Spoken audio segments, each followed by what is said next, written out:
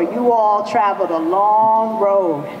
Three years ago, where were we? We were in COVID. We didn't know what was going to happen. We didn't know if we would ever be with our children again. And lo and behold, we persisted. And we made it back with our kids. And it's because of your hard work it takes everybody coming to the table to get us to the mountaintop. Now, we might not all agree all the time, but that's okay. Even in your families, you don't all agree. We're here today because we all work together. And one of the most exciting things that we worked together with, it was a long road, was our contract.